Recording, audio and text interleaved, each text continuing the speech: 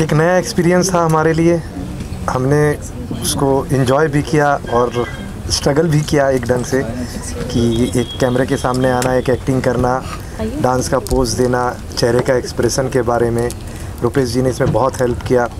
उनकी ही जो भी उन्होंने हमें सिखाया उसकी बदौलत ही हम इतना कर पाए जो आप लोगों को शायद पसंद आए। मंदाकिनी मैम आई उपासना मैम आई अपना बहुमूल्य समय दिया।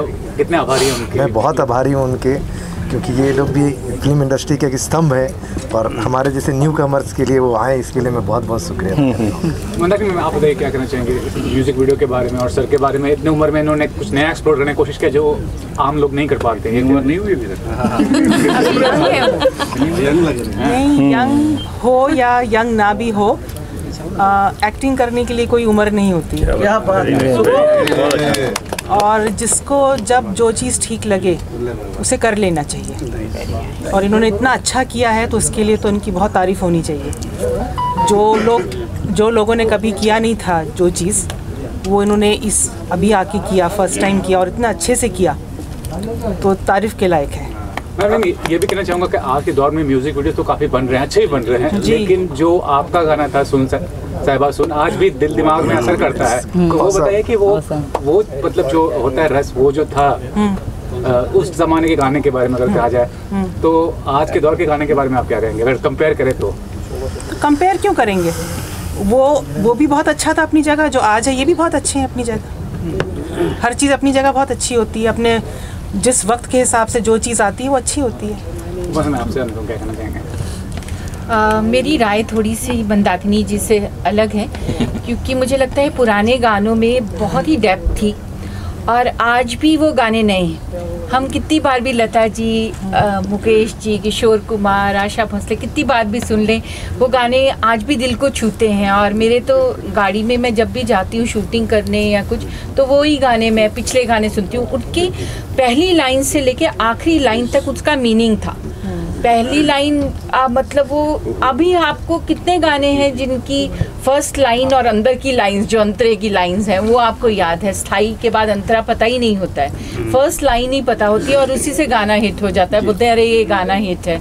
तो उसका कोई सेंस ही नहीं है कई गानों का। लेकिन मैं ये नहीं कहती कि हर एक गाना ऐसा है। कुछ एक गाने आज भी म्यूज़िक डायरेक्टर्स बहुत टैलेंटेड हैं सिंगर्स हमारे पास बहुत अच्छे हैं और बहुत अच्छे गाने लिखे भी जाते हैं लिरिसिस्ट बहुत अच्छे हैं। लेकिन जो पहले के गाने हैं और अब के गाने हैं मुझे ऐसा पर्सनली फील होता है कि उसका कोई मुकाबला नहीं। मे- मेरा एक सवाल है मंदाकिनी जी से। जी। मंदाकिनी जी जो इनका जो लव स्टोरी है वो कितना मतलब मतलब दिल से मतलब हार्ट होते हैं तो उसको गाने में प्रेजेंट करना तो आप इन कल उन, उनका मतलब साल शादी का सालगिरह भी है। क्या कहेंगे?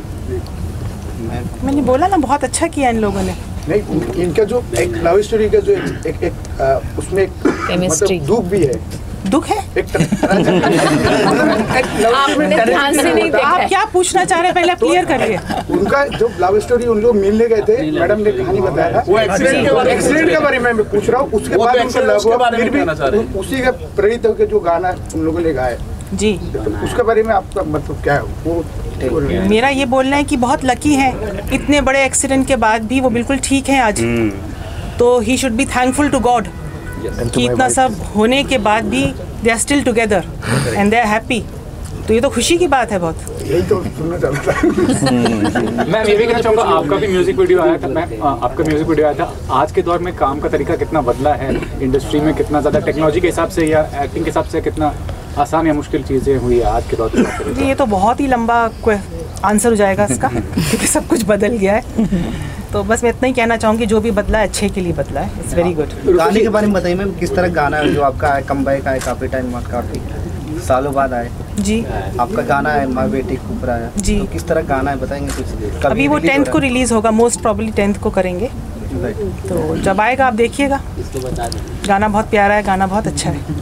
रुपेश जी आप आप क्या कहना चाहिए इस गाने को लेकर? कितनी बड़ी याद है कितनी बड़ी इसमें एक गाने के बारे में क्या कहना चाहेंगे? कितना टाइम गया और कैसे जहन में है आपके गाना बनवाना चाहिए? गाना के लिए मैं बस बोलूँगा कि मैंने पहले भी बताया आप लोगों को कि इसको स्टार्ट दम है थोड़ा हमेशा से रहता है कि ये स्टार वो स्टार बॉम्बे भी आती है तो हमेशा ये रहता है कि कोई मिल जाए शायद कहीं मिल जाए लगा होता है इसको। तो फिर मेरे को लगा कि हाँ जब इतना है तो क्यों नहीं हम ही उसको पिक्चराइज करें? और हम ही उसकी तरफ़ खुद को ही एक स्टार बनाने की कोशिश करें। गुड़िया जी आप क्या कहना चाहेंगे सॉन्ग के बारे में?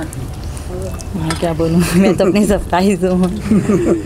मुझे बहुत अच्छा लगा करके। मेरा भी पहला ही है। बहुत अच्छा। रुपेश शॉर्ट फ़िल्म बनाया आपने और काफ़ी मतलब अवार्ड्स वगैरह मिले। हैं कश्मीर पे भी जैसा कहा गया कि बनाने वाले क्या विषय है क्या कहना चाहेंगे देखिए क्या होता है वो जब एक सब्जेक्ट तैयार हो रहा होता है ना उसके बारे में ये ज़रूर होता है कि आदमी बताना चाहता है लेकिन मेरा जो सब्जेक्ट है उसको मैं थोड़ा अभी डिस्क्लोज नहीं करना चाहता किसी रीज़न से। तो कश्मीर फ़ाइल से तो नहीं नहीं नहीं कश्मीरी कश्मीर फ़ाइल से उसका कोई वो नहीं है। हमारी एकदम अलग स्टोरी है।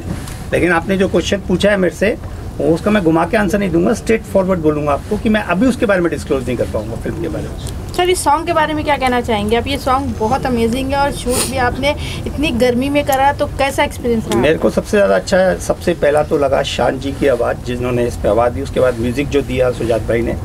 और उसके बाद जो मेरे ये दोनों आर्टिस्ट हैं, जिन्होंने परफॉर्म किया 42 डिग्री टेम्परेचर के अंदर, खूब रिहर्सल्स किया, काफ़ी मेहनत किया और उसके बाद ये फाइनल रिज़ल्ट आया। डायरेक्टर हमेशा कैमरे के पीछे अपनी बेस्ट देने की कोशिश करता है कि हर शॉट उसका बेस्ट हो। लेकिन उसमें परफॉर्मेंस सामने जो फ्रंट ऑफ़ द कैमरा होता है उसी को देनी पड़ती है। आप चाहे रिहर्सल्स कराएँ सब कुछ कराएँ लेकिन फाइनल एग्ज़ाम तो वही देता है। तो मेरे हिसाब से इन्होंने फाइनल एग्ज़ाम के अंदर बहुत अच्छा परफॉर्म किया है। और मंदाकिनी जी उपासना जी सब लोग हैं यहाँ पे तो उनकी ब्लेसिंग से मेरे ख्याल से ये और सॉन्ग अच्छा जाएगा गाना जी हो सकता है गिफ्ट का तरीका बदल जाए आपके इस गाने के बाद एक के बाद हाँ हमने एक ट्रेंड सेट करने की कोशिश की है कि लोग पहले लव करते हैं फिर मैरिज करते हैं। और या रियल लाइफ में अगर हम देखें तो कपल्स पहले यहाँ एक दो मूवी चार मूवी करते हैं फिर उनके बीच अफेयर लव होता है और फिर वो कपल्स में बदल जाते हैं। हमने पहले शादी की है एक अरेंज मैरिज है हमारा और उसके बाद प्यार हुआ है और फिर प्यार के बाद ये रियल लाइफ का प्यार हमने लाया है जो शायद एक ट्रेंड सेट कर दे बॉलीवुड के लिए। कि एक आम आदमी भी चाहे तो एक अपना आम जीवन से उठ करके एक सॉन्ग शूट करा सकते। दुआ करते हैं फ़िल्म में भी आप दोनों साथ में नज़र आएगा। ज़रूर। अच्छा हो। आपकी दुआ लगे। सुजात जी आपके बहुत सारे वीडियोस आए हैं और इस वीडियो में क्या खास बात है कपल को देखते हुए?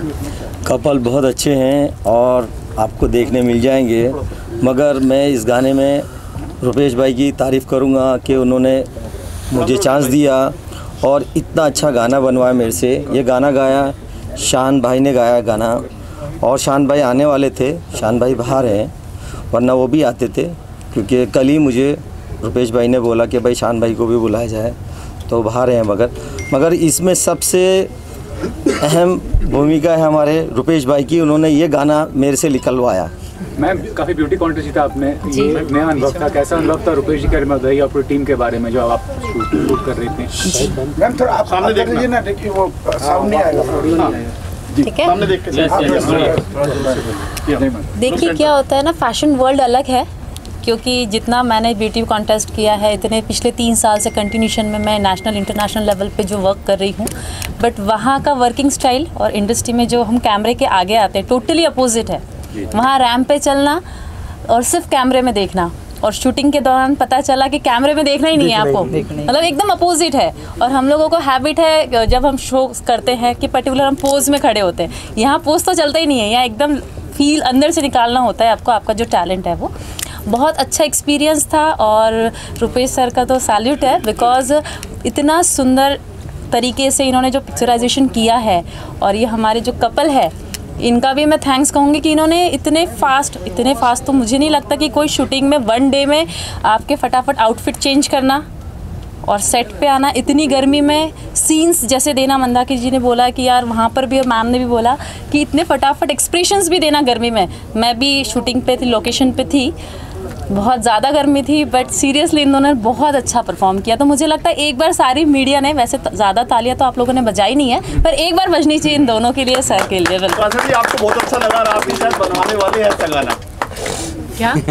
आपको बहुत अच्छा लगा गाना आपने बोला कि उठाएँगे आपको उठाएँगे। गाना बहुत अच्छा है शान साहब ने बहुत बहुत बढ़िया गाया है। इसमें कोई शक नहीं है। तो गाना मैं तो खुद फ़िल्में दो प्रोड्यूस कर रही हूँ अभी मतलब मैंने की हैं तो उसमें तो बहुत से गाने होते हैं। तो हाँ? ऐसा गाना कपल वाले गाने कपल हाँ। मेरा बेटा हीरो आ रहा है अभी नानक। लोग बोलते हैं मेरे को कई बार मैं एयरपोर्ट पे भी जाती हूँ तो लोग मुझे बोलते हैं अरे तो आपकी शादी हो गई। शायद लोगों को वही कपिल वाली वही याद आता है। तो मैंने उनको बोला मेरी शादी काफ़ी टाइम पहले हो चुकी है। और मेरा अठारह साल का बेटा है और वो लव स्टोरीज में आ रहा है अभी नानक उसका नाम है। तो वो बहुत सारे गाने कर रहा है बहुत अच्छा डांसर है। तो गानों से मेरी हमेशा से बहुत अटैचमेंट रही है। मुझे गाने सुनना और डांस डांसेस देखना बहुत पसंद है। सो मैं तो गाने पिक्चराइज करवाती रहूँगी और मैं बहुत इनको इन्होंने कमाल है कि जो जिस फ़ील्ड में होता है, जैसे अभी ये मशरूम्स बेचते हैं, हमें कोई बोले, हम एक आधा किलो बेच नहीं सकते। लेकिन इन्होंने वो फ़ील्ड में काम किया है कि जिस फ़ील्ड जो फ़ील्ड ही नहीं है इनका तो उसमें एक्सप्रेशन देना और अपने मार्क पे आना और इतनी गर्मी में काम करना तो डिफ़िकल्ट काम था ये सब अच्छा। तो उसके लिए तो भाई बहुत मैं उनको क्या कहूँ उनकी तारीफ़ है लोकेशन मैडम आ, आप जो इन इनके पास जब गए थे जी। जो गाने के लिए जी। तो उनका जरा कहानी बताइए ना आपको अच्छा इनके बारे में? ओके फाइन सबसे पहले तो जब जैसे मैंने आप लोगों को स्टार्टिंग में भी बोला कि ये लव मैरिज तो नहीं अरेंज मैरिज है बट उस अरेंज में भी लव करना बहुत बड़ी बात होती है जो इन्होंने यहाँ प्रूव करके दिखाया। और सिंघानिया जी ने जैसे मुझे बताया था कि वो अपनी वाइफ के लिए कुछ सरप्राइज़ प्लान करना चाहते हैं। तो मतलब अब मैं इस फ़ील्ड में थी तो मुझे लगा कि इससे बेटर क्योंकि हर लेडीज़ की एक चॉइस होती है कि उसका हस्बैंड उसके लिए कुछ सरप्राइजेस प्लान करे। और बीवी नंबर वन तो हर लेडीज़ बनना चाहती है। तो वही बीवी नंबर वन कॉन्सेप्ट सोचकर हमने जब डिस्कस किया, उसके बाद रुपेश सर से जब हम मिले, और शान सर तो मेरे बहुत फेवरेट है क्योंकि सिंगिंग तो मुझे लगता है उनकी आवाज़ और इनकी आवाज़ भी काफ़ी मैच हो रही थी। जब डिस्कस किया तो बस वो जो स्टोरी मैंने आपको बताई है एक्सीडेंट वाली उस कॉन्सेप्ट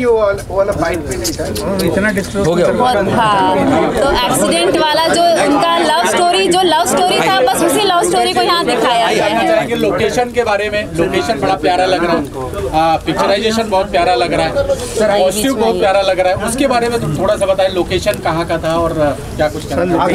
लोकेशन मुंबई के बिल्कुल एक इधर ही है। बाजू में जगह है उधर था। भाई और जहाँ तक कॉस्ट्यूम की बात है कॉस्ट्यूम में हमारी डिज़ाइनर ने वेदिका ने बहुत मेहनत किया अलग अलग कॉस्ट्यूम्स के ऊपर, क्योंकि इनके ट्रायल्स बहुत ज़्यादा हुए थे कॉस्ट्यूम्स के।